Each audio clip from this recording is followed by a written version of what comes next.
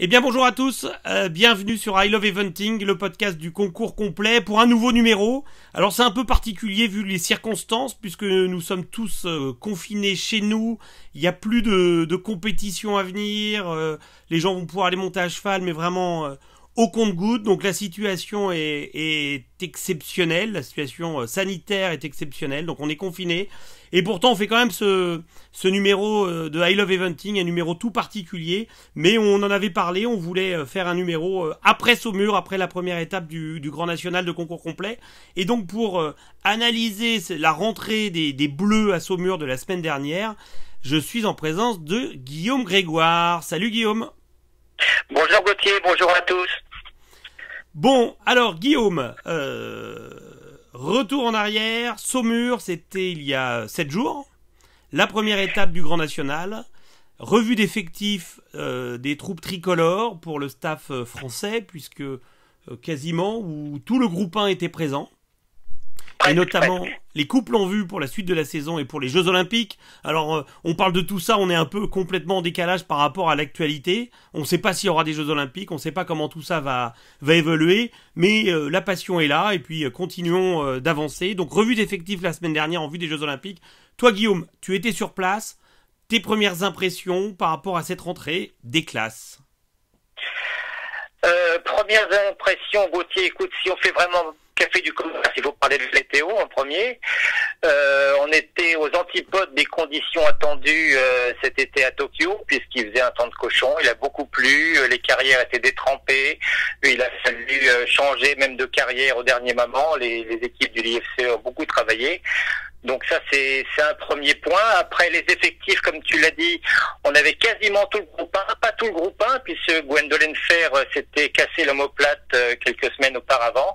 Elle était quand même à cheval, elle a réussi à faire euh, le cochon d'Inde, on dit l'ouvreuse pour la reprise de dressage. Le dimanche, elle a sauté avec Thierry. Bon, elle va reprendre d'ici quelques semaines en Angleterre, mais ça va être annulé. Donc c'est compliqué pour elle. C'est compliqué aussi pour Astier, qui n'était pas là, qui devait reprendre aussi euh, à son cours. Donc on avait quasiment tout le monde. Et ça s'est plutôt bien passé, même si on a euh, eu pas mal d'incidents, mais pour les couples en vue, ça s'est plutôt bien passé. On peut, on pourra en parler en détail si tu le souhaites. Alors, avant de revenir en détail justement sur les cavaliers euh, euh du groupe 1 et peut-être peut-être un petit peu plus, euh, parlons un peu de cette reprise de dressage. Tu soulignais sur le complet.com que cette nouvelle reprise, cette reprise olympique, n'était pas encore complètement acquise pour tout le monde.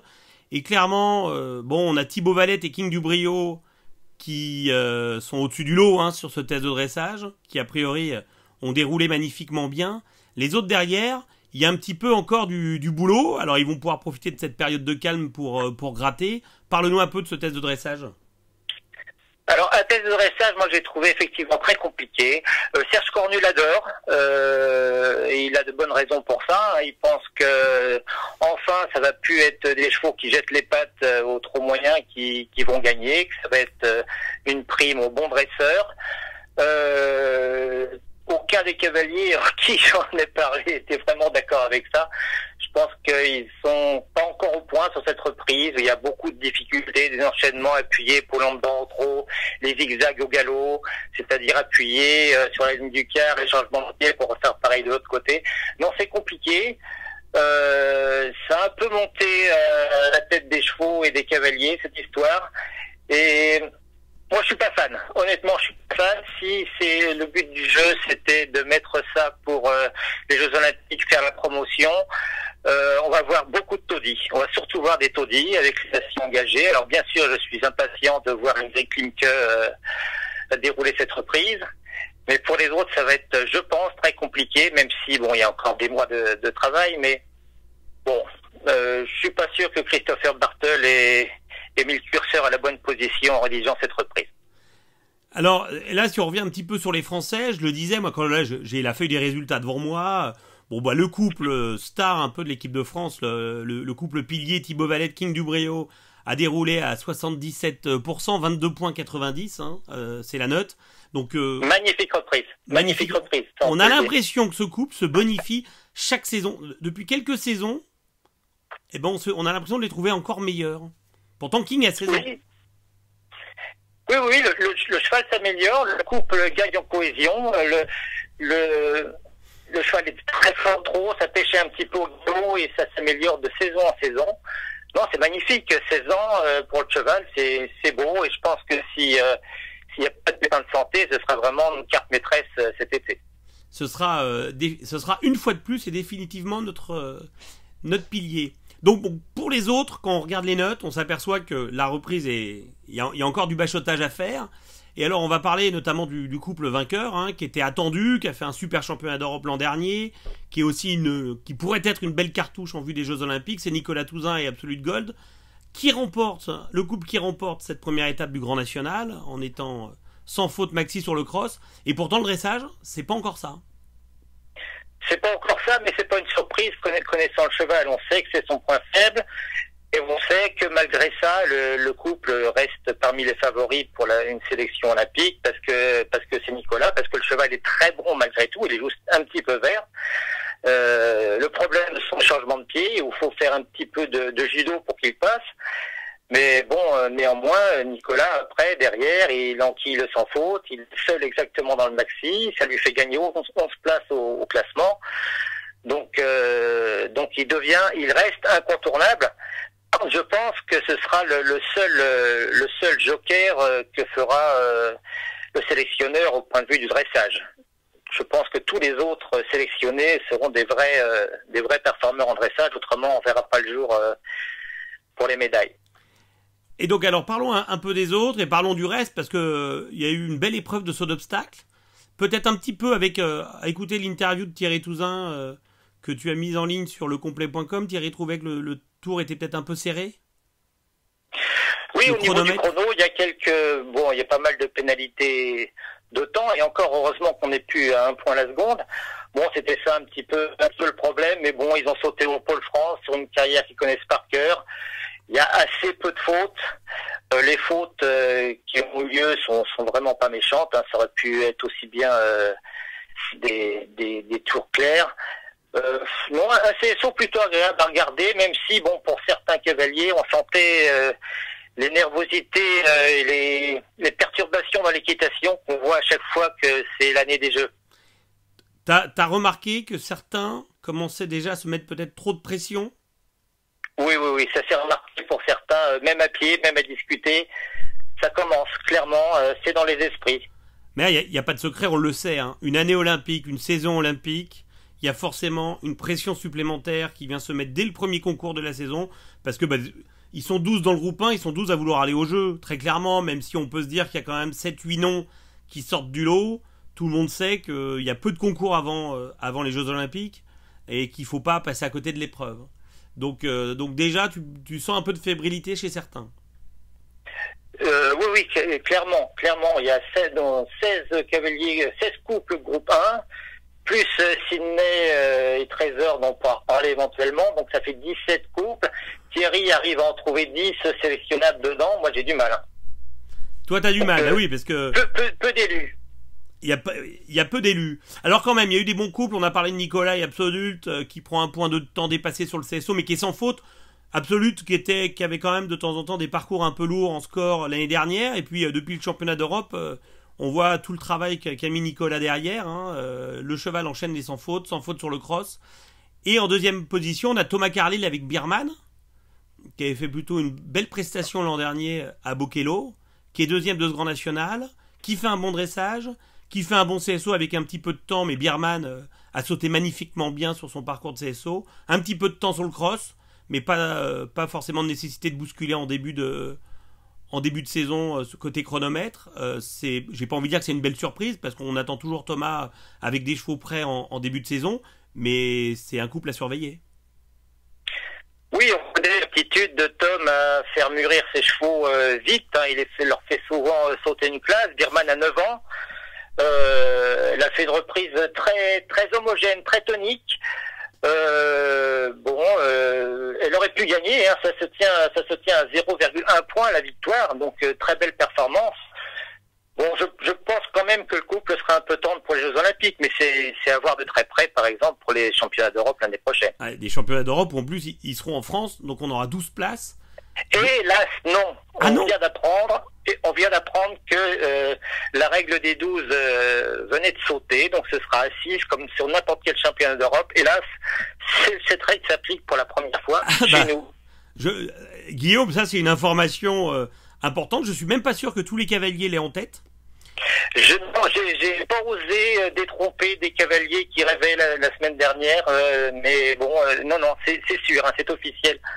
Ça m'a été confirmé. Donc même les championnats d'Europe aura du pain dans un an, il n'y aura que six places. Bon, bah alors là, je veux pas rajouter un petit peu de pression supplémentaire, mais ceux qui se disent bon, on aura toujours le lot de consolation au championnat d'Europe à 12 places, on arrivera à se faire une petite place, ça va être un peu un peu compliqué. Bon, avant de parler de d'autres couples, parce qu'on en sur, alors on en surveille certains un peu plus que d'autres. Euh, parle-nous un peu du parcours de cross. J'ai pas eu l'impression qu'il y ait eu beaucoup de, de, soucis sur ce sur ce parcours de cross. Un parcours de cross qui ressemblait euh, pas mal à celui qu'il y avait eu il y a deux ans, euh, où il y avait eu bon une trentaine de pourcents de, sans faute. Là, on est un petit peu moins. Mais bon, ça, ça semblait pas euh, insurmontable. Des difficultés euh, à marcher le cross qui semblaient plutôt regroupées vers la fin de tour. Et ça nous a fait mentir puisque c'était un petit peu euh, un petit peu réparti sur l'ensemble des combinaisons et c'était plutôt un problème de distance qui s'est qui s'est révélé. En fait, pour leur connaissance, Thierry Touzin nous avait dit à ses cavaliers que les distances étaient comme dans les livres et bah c'était pas vraiment comme dans les livres en fait. C'était des distances un peu longues et peut-être qu'on voit là la conséquence de l'hiver passé à asseoir beaucoup les chevaux, euh, à les raccourcir dans leur foulée et qui se sont trouvés un petit peu euh, un petit peu grands sur ces distances et qui sont donc sortis euh, sortis par la porte grande ouverte en sortie de combinaison. Mais les chevaux non plus se sont très bien comportés. Alors, suite à cette première étape, est-ce que alors dans l'ensemble, tout le monde a fait une bonne rentrée? Ah oui, oui, je pense que je pense que l'entraîneur était, satisfait. Je pense qu'il avait des, raisons légitimes de l'être. Après, il y avait des cavaliers déçus, des cavaliers qui auraient euh, aimé être, euh, être plus haut dans le classement, qui ont été euh, déçus de leur reprise. Je pense par exemple à Guireg qui, qui a raté un changement de pied, ce qui le pénalise beaucoup. Et même s'il a fait un bon tour après, euh, bon, il est que dixième. Euh, je pense qu'il était déçu. Il est même pas venu chercher sa plaque à la remise des prix. Euh, même chose pour Christopher Six, hein, qui, qui était un petit peu loin. Mais bon. Oui, qui, qui nous habitue à, en général être mieux que ça après le dressage. Moi, j'étais J'étais assez déçu par la prestation de Totem à cette, à cette reprise. J'ai trouvé plus horizontale et moins dans la propulsion que avant, mais il faut dire que cette reprise, elle favorise pas vraiment la propulsion. Il y a, elle fait penser un petit peu à un cross de format où les difficultés sautent très vite à la figure et on n'a pas le temps d'avancer entre deux, entre deux difficultés. Bon, et si on parle un peu des autres couples qui étaient présents au championnat d'Europe l'année dernière, donc, euh, donc je pense notamment à Karim Lagouag. Alors là, il a deux chevaux, il a euh, son fidèle euh, Punch mais j'imagine pas, alors on peut se tromper, hein, mais j'imagine pas un instant mais qu'on emmène Punch aux Jeux Olympiques. Je, suis peut-être hors sujet en disant ça, peut-être que l'avenir me fera mentir. Le cheval est fantastique, j'adore ce petit anglo, mais il vient de prendre 17 ans quand même. Par contre, on a Karim avec Triton Fontaine qui fait double sans faute, sans faute maxi sur le cross, sans faute sur le CSO, qui a pas gagné le dressage, mais qui derrière aligne un parcours parfait. Ah ben Karim, Karim quoi, euh, il est, il est euh, le seul avec ses deux chevaux à garder ses points de dressage. Les deux chevaux gagnent 15 points, 15 places au classement. Euh, donc euh, fantastique Karim. Après, est-ce que ça suffira pour une sélection olympique Comme toi, j'en doute avec Punch uniquement pour les problèmes de vis-à-vis de la reprise de dressage. Ça, ça va être assez insurmontable pour Punchouille. Bah, on voit pas Punch aujourd'hui forcément s'améliorer sur le dressage et sur une reprise aussi difficile. Le, cheval est fantastique, mais bon, euh, voilà quoi. Il, est clairement limité euh, pour, pour ce premier test qui va être complètement décisif. Hein, euh, dans cette reprise-là, il n'y aura pas de droit à l'erreur, il n'y a que 20 notes. Et si on, si on rate une seule de ces 20 notes, eh bien on est fini. On est fini. Autre coup. ouais, donc donc donc si donc faut surveiller Karim avec Triton même si sur le dressage, on n'est pas après, sur le dressage, il, dresse il soit un peu plus de 67%, on est à 33 de notes. C'est pas forcément une très bonne note. En même temps, tout le monde tourne un peu entre 29 et 30, 32 de moyenne. Hein. En dehors de clairement du cavalier du cadre Thibaut Valette avec King qui est à 22,90. Donc et Thomas Carlyle à 26-10 derrière. Donc eux, on peut imaginer qu'ils sont clairement dans un top 10 très euh, imaginatif euh, après le dressage des Jeux Olympiques. Derrière, on est quand même tout le monde un petit peu loin. Donc, mais quand même un couple à surveiller. Oui, tout le monde loin, voire très loin, parce que honnêtement, on a 10 couples euh, au-dessus de 70% à Saumur. ils sont un petit peu surévalués. Hein. Il y, a une des juges qui, qui juge très bien d'ailleurs, hein, mais qui est plus dans la générosité, qui est complètement fan de ce sport. Et je crois que j'aurais donné au point mais c'est surévalué mais qui a été généreuse avec tout le monde. Avec tout le monde. sur les mêmes classements, mais ils sont assez loin au point. Très bien. Donc, autre couple qui faisait sa rentrée, qui n'avait pas du tout retourné de, en concours depuis le championnat d'Europe, qui était un couple encore assez tendre lors des derniers championnats d'Europe, c'est Jean-Loup Bigot avec Utrio du halage. Et qui termine quand même septième, donc c'est bien, sans faute sur le CSO, un petit peu de dépassement de temps sur le cross, connaissant l'habilité de Jean-Loup euh, sur l'épreuve de cross, je pense qu'il voulait faire une course euh, tranquille. Le dressage un petit peu loin, mais comme tout le monde, comment t'as as trouvé la, la, rentrée de ce couple-là, du couple saumurois? Plutôt pas mal, plutôt pas mal. Et comme tu dis, euh, Jean-Loup a couru tranquille, mais euh, toujours avec son équitation très fluide. C'était un cross euh, chouette à voir. Le cheval euh, ne demande qu'à mûrir. D'après Sage Cornu, il y a un potentiel au dressage bon, qui n'est pas encore exprimé. On a peut-être, on a peut-être le temps et peut-être que cette pause euh, obligée euh, de concours là va, l'amener à travailler. Pourquoi pas? Pourquoi pas? En tout cas, un, beau top 10 pour ce couple. Et euh, alors, sauf si j'en oublie, mais je pense pas, on avait également Alexis Goury et Trompe-l'œil d'Emery, qui étaient présents aux Europes l'année dernière. Alexis qui n'avait pas pu présenter le cheval à l'inspection vétérinaire du dimanche matin au championnat d'Europe. On n'avait pas revu trompe-l'œil depuis le championnat d'Europe. Et là, ben, ils reviennent. Et bon, ils sont 14e, euh, 4 points sur le CSO, un dressage. Euh, bon, on, connaît trompe-l'œil, c'est pas forcément euh, le cheval qui est le plus facile sur ce test. Bon, 4 points sur le CSO, du temps dépassé sur le cross. Je pense que là, Alexis a voulu jouer sa course, sa course facile. Est-ce que tu as pu un peu observer ce jeune couple? Oui, il n'a pas voulu tenter la rapidité sur le cross après après les notes qu'il avait euh, à l'issue de dressage. On, connaît euh, Trompe-l'œil, c'est un bon petit poney. Euh, c'est vraiment un couple sympathique, mais bon, d'ailleurs ils sont pas dans le groupe 1, donc ça va être juste. Ça va être juste. Bon, on, a parlé, alors c'est compliqué de parler de tout le monde, hein, les gens qui vont nous écouter, ah, mais c'est toujours compliqué de parler de tout le monde. je remarque quand même que Carnot Boiteau et Coriano ont fait une bonne rentrée, cinquième. Ah, mais là, pour moi, c'est le, le, couple le plus homogène sur l'extra test. Vraiment très, très euh, belle, très bon euh, une démonstration, vraiment. Euh, et, c'est dommage que le couple ne soit pas qualifié. Ils peuvent encore se qualifier, même si avec les, le coronavirus, c'est pas gagné. Euh, a envie de les mettre dans le papier quand même, de côté. On sait jamais. Toi, tu les mets de côté, on sait jamais. D'accord? Bah, pour moi, ce couple qui se connaît par cœur, euh, Coriano et Arnaud, euh, ça fait des saisons et des saisons qu'ils sont ensemble. Effectivement, il y a un bon dressage, bon CSO, bon cross. Avec Coriano, on n'est jamais à l'abri d'une mauvaise surprise. Il a quand même des moments où il se dit, euh, il dit merde à son cavalier, un peu à la dernière seconde. sur les formats longs, là, on a 8 minutes de cross aux Jeux Olympiques. Non, mais il sera certainement pas, mais bon, un petit, un petit coup de cœur quand même pour ce, pour ce couple. Alors, et maintenant, moi, je voudrais qu'on parle encore d'un couple, vraiment dans les gens qu'on peut imaginer, qui fait pas partie du groupe 1, on l'a écrit sur euh, les réseaux sociaux, qui fait pas partie du groupe 2, qu'on a quand même vu sur les postes de la fédération qui était au stage brièvement pour euh, sauter, dresser, c'est Sidney Dufresne et Trésor Mail, euh, qui sont pas dans les groupes 1 et 2, qui sont quand même regardés par le sélectionneur, d'ailleurs euh, Thierry Touzin l'a dit en interview, euh, comment t'as trouvé la, rentrée de ce couple qui était quand même il y a deux ans 18e des Jeux équestres mondiaux? Oui, écoute, c'est un couple vraiment à suivre. Hein. J'ai bien aimé leur reprise. Vraiment, euh, je pense que le cheval peut être à l'aise sur cette reprise, même si c'est pas encore tout à fait le cas. Je pense que ça peut advenir. Le, CSO, CSO sans faute, juste une seconde de temps dépassé.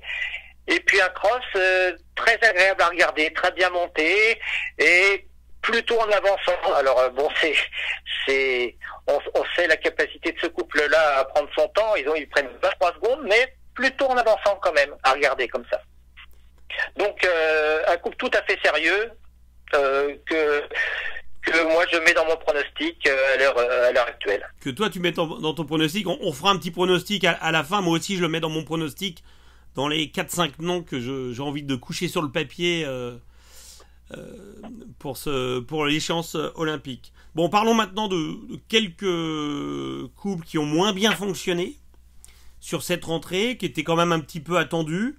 Euh, alors, Victor Lévesque avec Funambule, éliminé. Un jeune quoi, un jeune cavalier hein, qui a pas non plus, qui monte très bien, mais qui a pas encore l'expérience, mais qui est éliminé. Qu'est-ce qui s'est passé? Qu'est-ce que toi tu as observé? Euh, bah, c'est clairement le, le j'ai pas, j'ai pas, je pense que le couple est, euh, enfin le cavalier, le cavalier est un peu trop tendre pour euh, pour ce niveau-là. Et ça se voit, la marche, la marche est importante et alors c'est, c'est difficile à dire, mais j'ai l'impression qu'il a, qu'il a craqué. D'accord. Bon, bah attends, après, démarrer sa saison sur le Grand National, c'est jamais évident. Euh, il faut aussi un peu de, un peu de mise en route. Et qu'est-ce qui s'est passé du côté de Nicolas avec Vendée Globe? Vendée Globe, il y a eu, il y a eu une mésentente euh, claire entre le cheval et le cavalier sur une combinaison et euh, Nicolas a préféré en rester là. Mais bon, rien de rien qui hypothèque l'avenir, même si l'avenir pour ce cheval-là est, plus lointain quand même. Il y a, du boulot. Mais, Nicolas aime beaucoup ce cheval. Nicolas, oui, Nicolas aime, aime beaucoup ce cheval qui me semble un peu un petit peu tardif euh, encore sur le, haut niveau en complet qui viendra, qu'il faut savoir attendre. Et puis, euh, Nicolas sait les attendre. Hein. si on se remémore quelques années auparavant, euh, avec Hildago de Lille, on était nombreux quand même à se demander pourquoi Nicolas passait autant de temps sur ce cheval. On ne pouvait pas déceler une capacité à gagner le 5 étoiles de badminton. Hein. C'est clair. Mais bon, il, s'y connaît un peu plus que nous, le garçon. Donc on va lui, on va lui faire confiance. Bon, oui. Euh, là où on a eu un aperçu assez global, est-ce que toi tu vois d'autres couples dont il faudrait parler, même s'ils méritent tous qu'on parle d'eux? Euh, Est-ce que tu vois d'autres euh, d'autres couples? On pourrait parler un petit peu, alors je sais pas si tu as pu regarder, puisque c'était sur la Pro 1, il y avait Maxime Livio, là, avec son cheval gris, dont j'ai perdu la... dont j'ai perdu le nom, qui avait fait fort... Happy. Happy. Happy, exactement qu'on avait vu sur la finale de l'Event Rider Masters euh, à Linière, qui termine quatrième là sur la Pro 1. Est-ce que tu as pu regarder? Parce que je crois que Maxime fonde quelques espoirs sur ce, sur ce cheval. Ah ben, J'avais prévu de le regarder au dressage puisque les, carrières de la Pro 1 et de la Pro Elite devaient être euh, côte à côte et puis ça n'a pas été du tout le cas puisque avec les conditions météo. Donc j'ai pas vu son dressage mais euh, j'en ai parlé avec le président du jury de la Pro 1 qui était Gaston Billet-dessus qui lui euh, a beaucoup aimé cette reprise là. bon il fait une petite non il fait deux barres au CSO pas rien de bien méchant. Je pense que c'est pareil, c'est un cheval qui, qui va mûrir et dont on parlera d'ici un an ou deux. On parlera d'ici un an ou deux. Ah, parfait. Bon, bah, clairement, ce Grand National de Saumur, c'était histoire de se remettre euh, dans le bain. Il faut toujours prendre, moi je trouve, hein, les résultats un petit peu avec des pincettes parce qu'on est à Saumur. C'est un peu le jardin, hein, c'est un peu le, jardin d'enfants, euh, la cour de récréation des Bleus, ils connaissent le, terrain par cœur, euh, que ça soit à l'école nationale d'équitation, que ça soit à Véry, on n'est quand même pas dans une configuration de compétition normale. Ça permet surtout aux sélectionneurs et au staff de regarder les couples un petit peu dans les conditions du direct. Mais sur une épreuve, ça reste Saumur, c'est le jardin des Bleus. On, est face à une concurrence quand même que tricolore et sur un site qu'ils connaissent par cœur. Donc c'est hyper important le reste de la saison. Mais là aujourd'hui, euh, Guillaume, la difficulté, c'est comment tout ça va, va évoluer. Euh, on a appris il y a quelques jours qu'au départ, Sidney Dufresne et Trésor Mail devaient s'envoler pour Lexington pour courir le 5 étoiles c'est qu'on imagine quand même dans la tête du cavalier francilien de se dire ben allons à Lexington, faisons une perf, ça peut peut-être définitivement me donner un ticket pour euh, pour les Jeux Olympiques, mais du coup ben, ils, ne peuvent plus y aller et puis on, peut s'attendre d'ici quelques jours à l'annulation de Lexington. Maintenant derrière, quelle va être la difficulté euh, pour les, cavaliers euh, pour prévoir la saison? Quid de Pompadour? Quid même derrière des premiers gros internationaux en Europe de badminton, même si aujourd'hui pour l'instant, rien n'est bloqué en Angleterre, mais je pense que c'est une question d'heure. comment tu vois les choses, toi, pour que les cavaliers restent dans la compétition En tout cas, dans la dynamique olympique, continuent de préparer les chevaux, et puis à partir du moment où ça va se débloquer, comment tout ça peut, peut évoluer par rapport aux gens qui sont un peu en retard sur leur préparation, par rapport à d'autres cavaliers qui peuvent se remettre dans le bain plus facilement. Est-ce que là, à ce moment-là, on n'a pas quand même le, mental du cavalier qui va être euh, l'élément numéro un sur sa capacité à, à, se, à, se, remettre dans le bain rapidement? Ah, déjà, déjà, le mental du cavalier était le premier paramètre, même sans tous ses soucis, mais là, effectivement, ça va s'accentuer. Moi, je te vois, je suis très pessimiste pour la suite, puisque au niveau international, la FEI a suspendu les compétitions pour semaine. Ce n'est qu'un premier pas parce que je pense que ça va durer beaucoup plus que ça. Au niveau national, je pense que lourd n'aura pas lieu. Euh, le stage qui devait avoir lieu euh, début avril euh, au Boulerie n'aura pas lieu. Euh, je sais pas, ça dépend de, de, quand ça va reprendre, mais j'ai peur que ce soit tardif. Et si c'est pas avant le mois de juin, eh bien, les chevaux euh, desquels on espère une progression au cours de la saison, ce sera râpé pour eux. Donc il faudra se rabattre sur des couples qui ont euh, euh, plus de bouteilles et une mémoire de, l'expérience pour, pour une sélection. Non mais alors clairement, alors je veux revenir un peu sur tout ce que tu viens de dire et c'est c'est très pertinent. Les gens qui nous écoutent vont se dire mais qu'est-ce qui s'embête à faire un podcast dans la, crise sanitaire Il faut le dire aujourd'hui. on, se l'est dit hein, que les gens se rassurent juste avant de démarrer ce podcast et Guillaume, on, a parlé de la situation et c'est vrai que elle est tellement euh, euh, difficile pour certains. On pense quand même au, corps médical hein, aujourd'hui. Euh, on pense à tout ce qui va se passer. Bon, mais à un moment donné, il faut quand même un petit peu de, un petit peu de plaisir. On est passionné par le complet, donc c'est vrai que les, semaines à venir vont être. on n'est pas complètement hors sol à vivre notre passion. Les semaines à venir vont être un peu déterminantes, mais pour notre façon de vivre au quotidien. Hein. C'est vrai que les Jeux Olympiques, ça semble complètement anecdotique. Mais quand même, on s'est dit à Guillaume, on a envie de refaire un petit peu le monde. Donc admettons Guillaume, on, se projette, là tout est bloqué, euh, moi j'imagine, minimum un mois, peut-être deux, pas de compétition, etc. On imagine que les compétitions reprennent au mois de juin, que les Jeux Olympiques aient quand même lieu, parce qu'à un moment donné, là on est vraiment, on parle au conditionnel.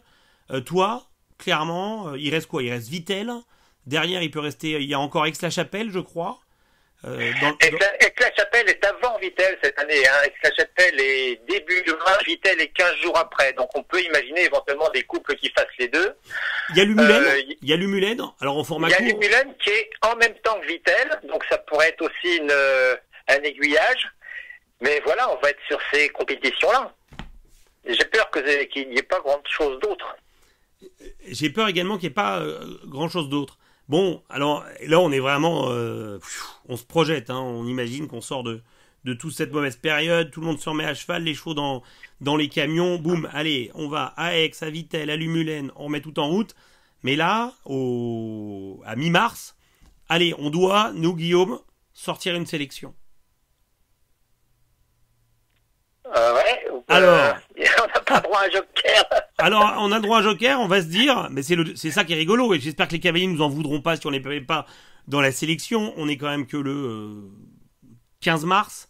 Euh, on se dit, on, on, va jusqu'au bout, Guillaume. Allez, on est sélectionneur. Je t'accorde quatre noms, puisque pour les Jeux Olympiques, on le rappelle, il y a quatre personnes qui s'envoleront pour Tokyo. Il y en a trois qui courent. Il y a un remplaçant. Donc je te donne cinq noms.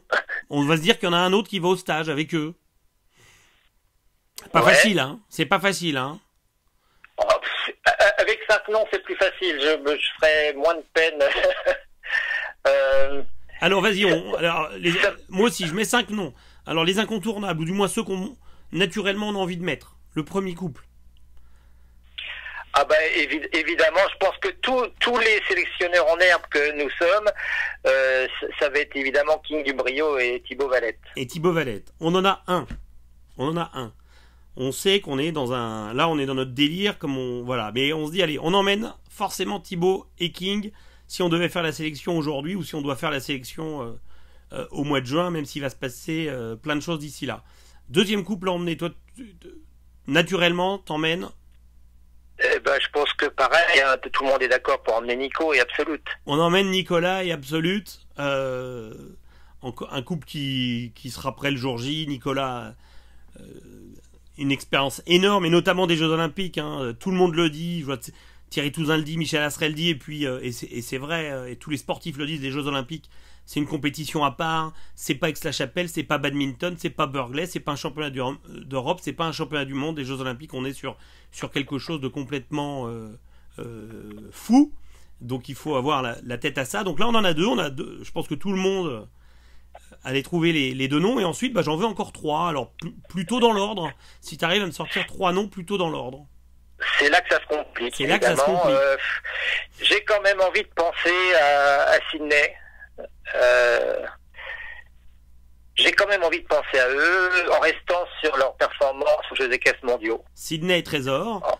En, en, et Trésor en numéro 3. Et, euh, et après, si deux autres noms, et je prendrais, euh, je prendrais Guireg. Oui. Esprit Galoge. Et euh, je Christo et Totem de Bresset.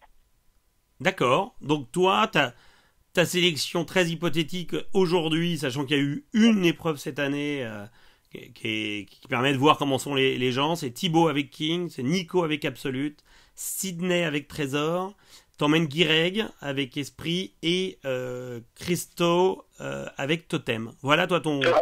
Sachant que pour les deux derniers, je prends un gros risque en termes de manque d'expérience des cavaliers. Ce sera sur, euh, le potentiel. quoi. Il y, a vraiment un gros potentiel, mais c'est un, peu tôt. Alors moi, je vais te donner mon top 5. Il, il, diffère un tout petit peu. Je mets effectivement Thibaut et King en, soute. Je mets également Nicolas et Absolute. Il n'y a pas de, pas de discussion. Euh, clairement, je pense que Sydney et Trésor euh, sont un couple à.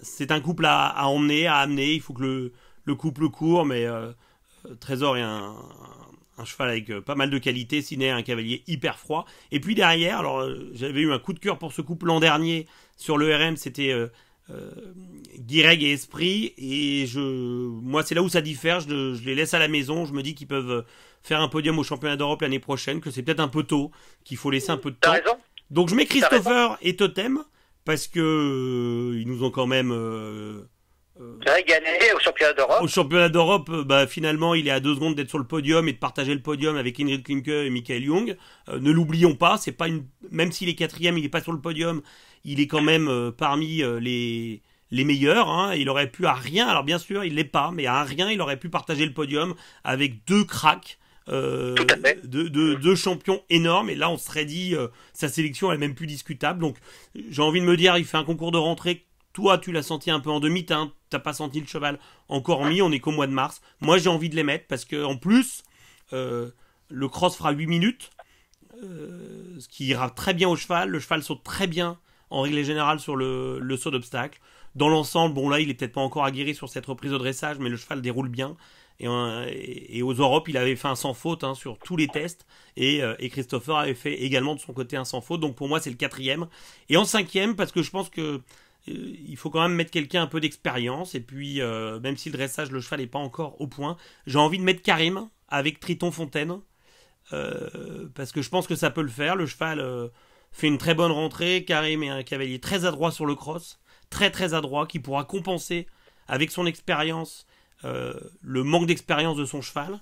Karim a eu l'intelligence il, y a une saison de le redescendre un peu de niveau, une saison et demie, parce qu'il était allé peut-être un peu vite, le cheval s'était un peu euh, déréglé, il l'avait remis un peu sur du deux étoiles pour revenir au fur et à mesure, et là le cheval me semble euh, avoir pris en maturité, donc pour moi c'est un peu mon top 5. Quoi. J'ai envie de mettre Karim avec Triton, euh, c'est un couple qui peut nous coller un double sans faute aux Jeux Olympiques. Certes, pas gagner le dressage, mais coller un double sans faute et être très rapide sur le cross. Voilà, voilà la petite différence, mon cher, euh, mon cher Guillaume.